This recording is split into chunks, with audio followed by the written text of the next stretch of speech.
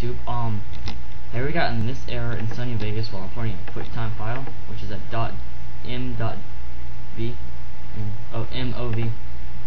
Uh, I'm gonna show you how to fix this because I've gotten so many questions about it.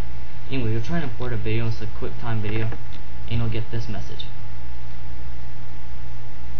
Um, all you have to do is literally do what it tells you to do. Go to apple.com slash quicktime slash download. So I'm going to do that. What the fuck is this thing following my mouse? Stop it!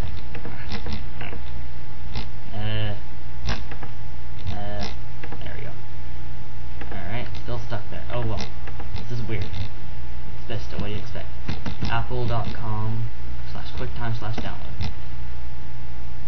This is kind of creeping me out here. Little music thing. Alright. Anyway, you know, um, QuickTime Player right here. That's where you're gonna be wanting to download.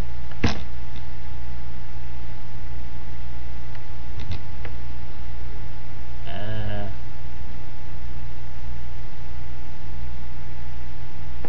and you'll see it'll look like this. Right here it says free download. Click that. I kind of just like did some unnecessary stuff right there. Um, and then just fill out whatever you need to do right here. Put in your email address. Oh my God, screw you, this. I don't want to. I don't care about Apple. Free download now. And right here, save file. Screw you, Firefox. Screw you, Sony Vegas. We wait. Bum bum bum bum bum bum bum bum bum. Where's the pause button?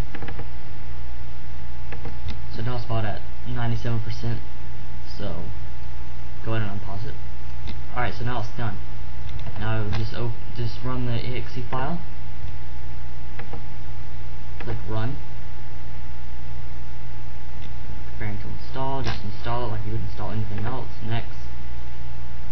Yes. Install. No. Now we just gotta wait for this bullcrap. So now I must pause it again. Okay, so now it's done. I'm not gonna view the readme because that's just completely stupid. Finish up. No thanks. Alright, so now we're gonna go back into Vegas. We're gonna go to OK, and now we're just gonna close out of Vegas. Oh my god, this thing's back. Oh. Okay. Oh my god. Ugh. Okay, we're good.